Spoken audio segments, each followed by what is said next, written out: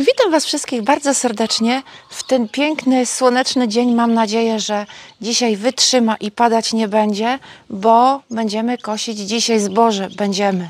Planujemy kosić dzisiaj zboże, a czy skosimy, to się okaże dopiero na fajrancie, czy pogoda nam tutaj pozwoli. Mam nadzieję, że tak, bo jako tako dzisiaj żadnego deszczu nie głoszą. Przyczepy już tutaj Edziu poszykował, pospinał, posprawdzał ciśnienie w kołach, dopompował, bo to tutaj trzeba bardzo tego przestrzegać.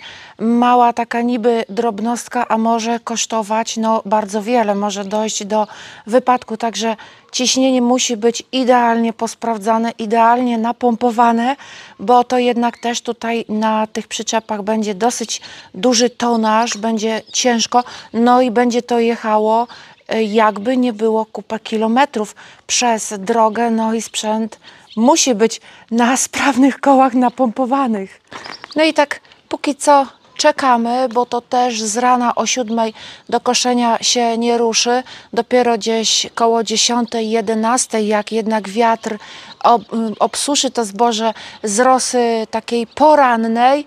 No i w tym czasie lecę do szklarni, zanim jeszcze chłopaki nie ruszą, nie będziemy pić kawy, coś im tam nie uszykuje, to ruszam do szklarni, do pomidorków. Te tutaj, które wysiały mi się przy murze, rosną bardzo ładnie, już nawet kwiaty mi tutaj zawiązują.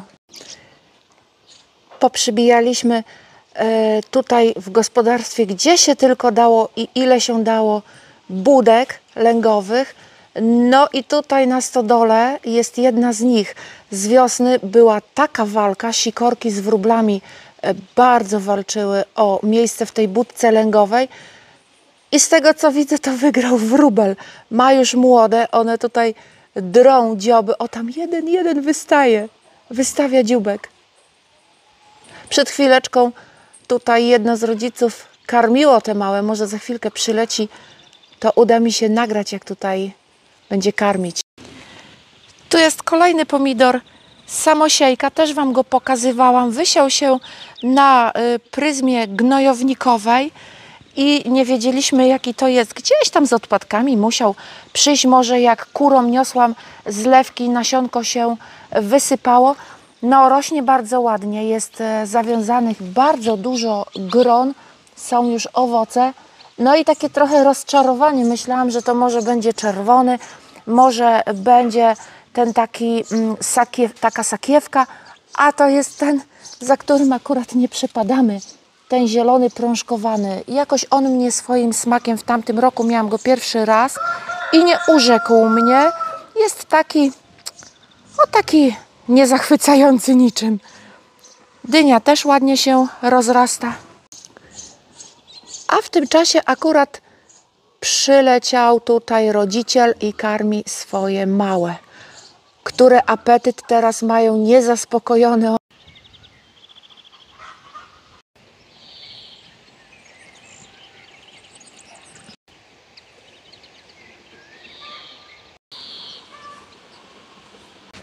Pomidory dojrzewają.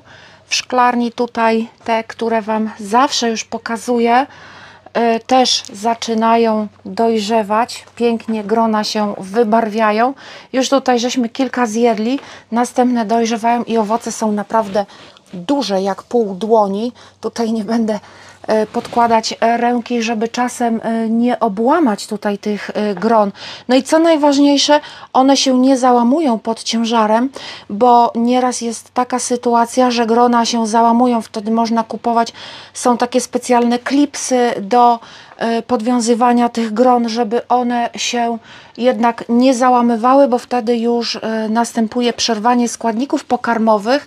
No i takie pomidorki wiadomo już stają w rozwoju i są słabsze. Cały czas produkują kolejne grona kwiatostanowe. Nie widzę, żeby jeszcze mi tutaj żółkły opadały, więc no puszczam go jeszcze do góry, nie skracam tego pomidora.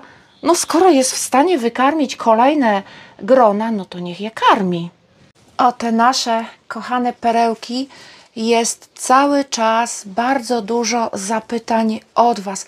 Teraz głównie są to pytania związane z obrywaniem liści i dojrzewaniem owoców. Y, jeżeli idzie o obrywanie liści, to są pytania, czy obrywać liście pod gronem, czy to ma wpływ y, na rozwój owoca. I jest dosyć dużo takich zdań, że oberwany liść pod gronem ma duże znaczenie, że to spowoduje, że grono nie będzie się rozwijało, owoc zamrze.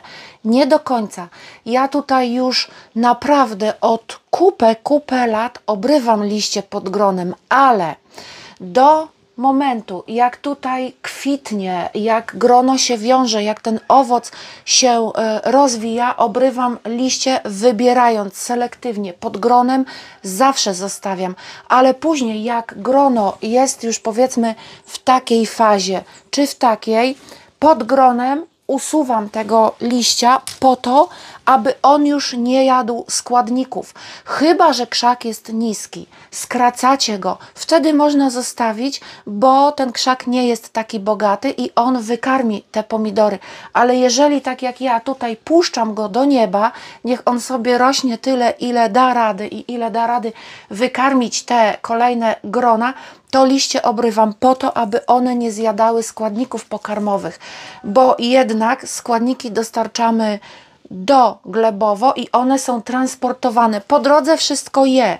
Je liść, je grono, grono, grono i później tutaj to kolejne jest jak od macochy. Tutaj oto, to, to na czubeczku. I, I dla niego już tych składników pokarmowych brakuje. Dlatego, jeżeli pomidor już jest taki podrośnięty, obrywam. I te składniki pokarmowe, one również tutaj przez łodyżkę, na której, przez ten ogonek, na którym siedzą pomidorki, będą dostarczane do owoca i owoc będzie się rozwijał. Tutaj widać. Tutaj też nie mam już pod gronem liści, dawno je poobrywam i popatrzcie, pomidory są ładne, one się wiążą. Jeżeli są już wyrośnięte, śmiało można e, liścia spod grona usunąć i one jeszcze będą sobie tutaj e, te owoce spokojnie rosły, a składniki pokarmowe będą transportowane w wyższe partie pomidora. Mało tego, pomidora też trzeba dokarmiać dolistnie, dlatego właśnie, że jak on jest tak jak tutaj ten mój, taki ho, ho, ho wysoki, on już ma, jakbym go tak wyprostowała chyba ze 3 metry, no to wiadomo, że zanim tutaj te składniki do czubka dojdą, to wszystko po kolei zeżre, mimo że te liście są już ogołocone. I w tym momencie jest bardzo, bardzo, bardzo istotne dokarmianie dolistne. Te same składniki, które dajemy tam do korzenia, opryskujemy tutaj, żeby one jadły liśćmi i od razu transportowały do owoca. Kolejnym pytaniem, które teraz lawinowo się od Was pojawia, to jest dlaczego te piękności nie czerwienieją, nie dojrzewają. I tutaj główną przyczyną jest niestety aura. Pomidor, żeby ładnie dojrzewać, żeby równomiernie i masowo zachodził proces czerwienienia się tego pomidorka, potrzebuje od 15 do 30 stopni. On nie lubi chłodu. Jeżeli będzie miał chłód, to nie będzie dojrzewał, dlatego że nie wytwarza się etylen, który jest odpowiedzialny za to, że pomidorek bardzo ładnie się wybarwia na kolory takie, jakie są przypisane danemu gatunkowi. No i tutaj mimo że w dzień mamy 30, 35, nawet i 40 stopni, a w słońcu jeszcze więcej, to w nocy temperatura bardzo spada. Mamy takie warunki e, bardziej chyba afrykańskie już w tym momencie, bo noce są zimne, dni są parne i upalne. I tutaj, jeżeli temperatura spada do 10 stopni, to niestety ten pomidor y, zostaje, proces dojrzewania zostaje zahamowany, nie wytwarza się etylen i w związku z tym one bardzo późno i bardzo wolno dojrzewają. On potrzebuje minimum 15 stopni w nocy, żeby bardzo ładnie się wybarwiał, a niestety tych 15 stopni nie ma. To na razie jest w sferze marzeń, więc one będą później dojrzewały.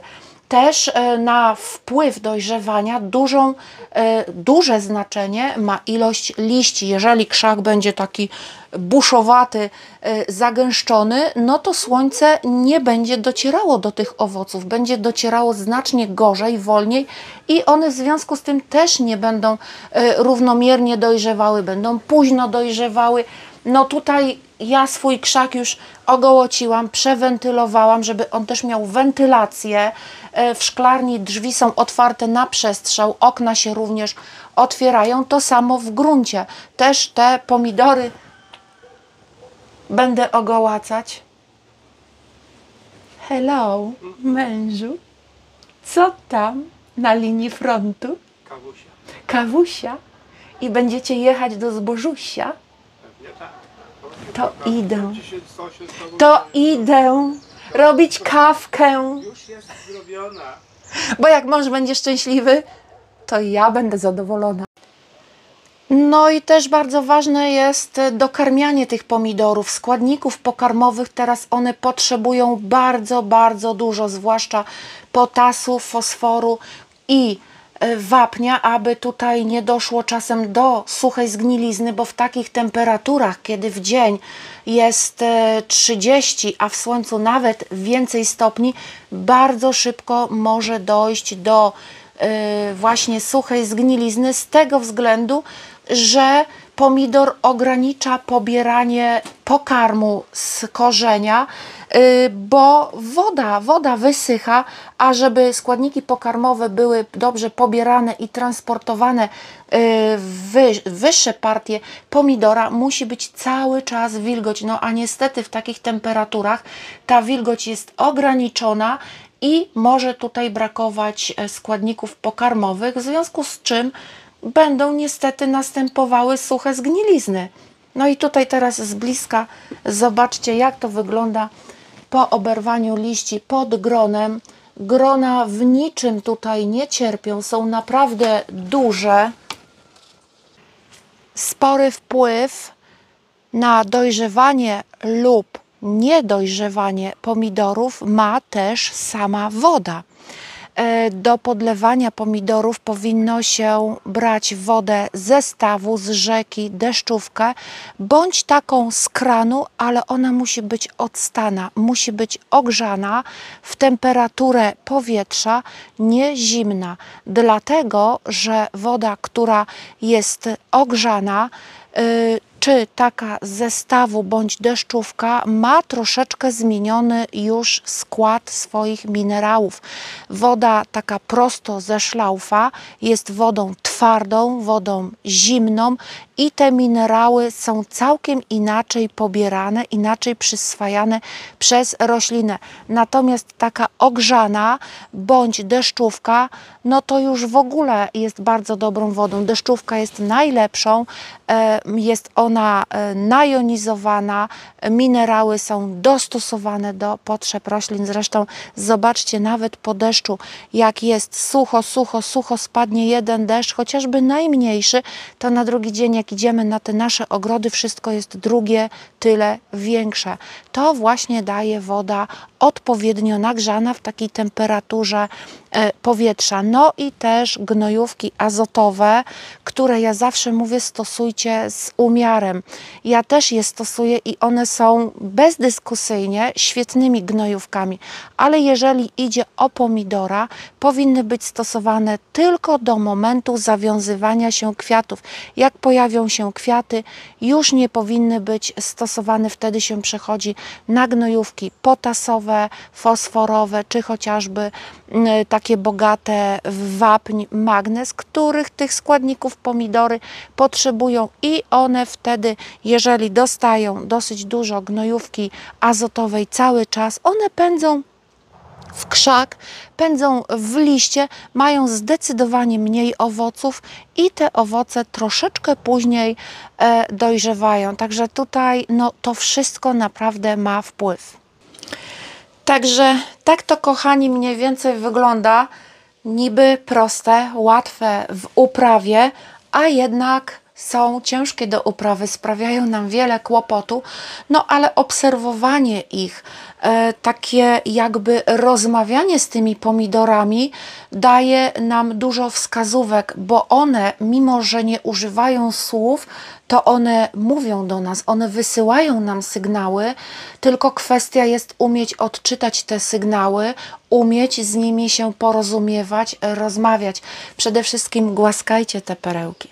Głaskanie naprawdę dużo daje, one wtedy takie są ładniejsze, nie chorują tak, czują takie może jakieś wibracje między nami. I to nie są bajki, nie można włożyć tego teraz, co mówię, między y, książkę z mitami, bo to jest prawda. Sprawdziłam to już na przestrzeni lat, że zdecydowanie lepiej rosną te, do których się mówi, które się głaska, do których się podchodzi z takim sercem, moje perełki, moje kochanie i one wtedy po prostu naprawdę ładnie rosną.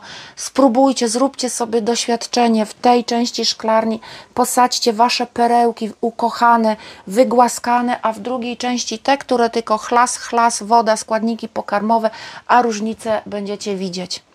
To tyle na dzisiaj o pomidorkach. Kończę już, bo przed chwileczką już Edziu przyszedł, dał cynk kawa, bo jadą do zboża, więc czas się, kochani, z Wami żegnać na dzień dzisiejszy. W kolejnych odcinkach też powiem, dlaczego papryka e, zrzuca zawiązki, jak to wszystko wygląda. Trochę jeszcze innych tematów będzie, będzie dużo.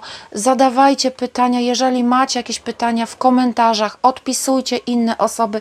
Ja jestem mało aktywna teraz, praktycznie wcale. Niestety e, czasu, no teraz w sezonie nie mam go i dziękuję za wyrozumiałość, że jesteście tacy kochani, bo i w SMS-ach mi piszecie, że rozumiecie mnie i to daje taką motywację, taką wiarę w Was, e, w takie zrozumienie drugiego człowieka, że akuratnie w danym okresie roku niestety jest taki czas, że poświęca się go właśnie tutaj tym e, roślinom za co bardzo Wam dziękuję, za tą właśnie wyrozumiałość, ciepło, dobro, ale piszcie, zadawajcie pytania. Ja czytam, bądź czyta e, Edziu i później mówi: Słuchaj, tutaj takie, takie pytanie, więc ja od razu w odcinku poruszam, staram się odpowiedzieć a jak gdzieś dorwę trochę czasu, to chociaż co piąty film serduszka Wam, kochani, przypiąć, ale dzisiaj tutaj dla Was wszystkich takie ogromne serducho za te komentarze i ciepło od Was. I życzę Wam wszystkiego najlepszego, rolnikom w tym trudnym takim czasie z wyścigiem o plon, z wyścigiem e, z aurą o ten plon Życzę odpowiedniej pogody, dobrego plonu i przede wszystkim takiej godnej możliwości sprzedaży tego ziarna za uczciwą cenę, żeby to się odbyło tak, żeby każdy godnie mógł przeżyć do następnego zbioru, do następnego roku. I przede wszystkim życzę rozsądku, takiej roztropności na drodze, to jest e, i do rolników, i do kierowców e, pojazdów e, samochodowych, żeby gdzieś tam nastało jakieś takie opanowanie i przede wszystkim nie siadajcie za kółko po alkoholu. To jest karygodne, bo i rolnicy, i zwykli użytkownicy dróg niestety za kołnierze często nie wylewają, a to jest niedopuszczalne. Pamiętajcie, że w tym momencie jesteście szafarzami życia drugiego człowieka i miejcie to na uwadze, zanim sięgniecie po kieliszek przed wsiąściem za kierownicę. Do następnego.